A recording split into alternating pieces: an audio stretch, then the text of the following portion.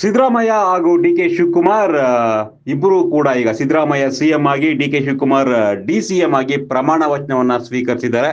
ಪ್ರಮಾಣ ವಚನ ಸ್ವೀಕಾರಕ್ಕೂ ಮುನ್ನ ಖಡಕ್ ಎಂಟ್ರಿ ಕೊಟ್ಟ ಸಿದ್ದರಾಮಯ್ಯನವರು ವೇದಿಕೆಗೆ ಬಂದ ತಕ್ಷಣ ಡಿ ಕೆ ಶಿವಕುಮಾರ್ ಅವರನ್ನ ಮಾತನಾಡಿಸಿದ್ರು. ಪಕ್ಕದ, ಪಕ್ಕಕ್ಕೆ ಕರೆಸಿ ಇಬ್ಬರು ಕೂಡ ಕೈಯನ್ನ ಜೋಡಕಿನ ತರ ಇಟ್ಕೊಂಡು ಏನು, ಇಡೀ ಸ್ಟೇಡಿಯಂನಲ್ಲಿ ಜನ ಸೇರಿದ್ರು. ಎಲ್ರಿಗೂ ಕೂಡ ಕೈ ಬೀಸಿದ್ರು. ಇಬ್ರು ಕೂಡ ಕೈಯನ್ನ ಮೇಲಕ್ಕೆ ಎತ್ತಿ ನಾವಿಬ್ಬರು ಜೊತೆಯಾಗಿದ್ದೇವೆ, ಒಟ್ಟಾಗಿದ್ದೇವೆ ಅನ್ನೋ ಒಂದು ಸಂದೇಶವನ್ನ ಇಡೀ ಕರ್ನಾಟಕದ ಜನತೆಗೆ ಸಿದ್ದರಾಮಯ್ಯ ಹಾಗೂ ಡಿ ಕೆ ಶಿವಕುಮಾರ್ ಸಾರಿ ತೋರಿಸಿದ್ರು.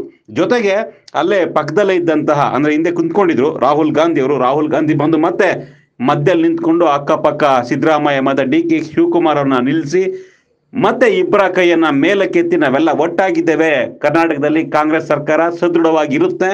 ನಾವೇನು ಕೊಟ್ಟಿದ್ವಿ ಗ್ಯಾರಂಟಿ, ಆ ಎಲ್ಲಾ ಗ್ಯಾರಂಟಿಗಳನ್ನ ನಾವು ಪೂರೈಸ್ತೇವೆ ಅನ್ನೋ ಒಂದು ಭರವಸೆಯನ್ನ ರಾಹುಲ್ ಗಾಂಧಿ, ಸಿದ್ದರಾಮಯ್ಯ ಹಾಗೂ ಡಿ ಕೆ ಶಿವಕುಮಾರ್ ಕೊಟ್ಟಂತೆ ಕಾಣಿಸ್ತಾ ಇತ್ತು. ಆ ದೃಶ್ಯಗಳನ್ನ ನೋಡ್ತಾ ಇದ್ರೆ. ಸಿದ್ದರಾಮಯ್ಯ ಹಾಗೂ ಡಿ ಕೆ ಶಿವಕುಮಾರ್ ಇಬ್ಬರು ಕೂಡ ಈಗ ಸಿದ್ದರಾಮಯ್ಯ ಸಿಎಂ ಆಗಿ, D K Shivakumar, D C M ಆಗಿ ಪ್ರಮಾಣ ವಚನವನ್ನ ಸ್ವೀಕರಿಸಿದ್ದಾರೆ. ಪ್ರಮಾಣ ವಚನ ಸ್ವೀಕಾರಕ್ಕೂ ಮುನ್ನ ಖಡಕ್ ಆಗಿ ಎಂಟ್ರಿ ಕೊಟ್ಟ ಸಿದ್ದರಾಮಯ್ಯನವರು ವೇದಿಕೆಗೆ ಬಂದ ತಕ್ಷಣ ಡಿ ಕೆ ಶಿವಕುಮಾರ್ ಅವರನ್ನ ಮಾತನಾಡಿಸಿದ್ರು. ಪಕ್ಕದ ಪಕ್ಕಕ್ಕೆ ಕರೆಸಿ ಇಬ್ಬರು ಕೂಡ ಕೈಯನ್ನ ಜೋಡಕಿನ ತರ ಇಟ್ಕೊಂಡು ಏನು ಇಡೀ ಸ್ಟೇಡಿಯಂನಲ್ಲಿ ಜನ ಸೇರಿದ್ರು. ಎಲ್ರಿಗೂ ಕೂಡ ಕೈ ಬೀಸಿದ್ರು. ಇಬ್ರು ಕೂಡ ಕೈಯನ್ನ ಮೇಲಕ್ಕೆ ಎತ್ತಿ ನಾವಿಬ್ಬರು ಜೊತೆಯಾಗಿದ್ದೇವೆ, ಒಟ್ಟಾಗಿದ್ದೇವೆ ಅನ್ನೋ ಒಂದು ಸಂದೇಶವನ್ನ ಇಡೀ ಕರ್ನಾಟಕದ ಜನತೆಗೆ ಸಿದ್ದರಾಮಯ್ಯ ಹಾಗೂ ಡಿ ಕೆ ಶಿವಕುಮಾರ್ ಸಾರಿ ತೋರಿಸಿದ್ರು.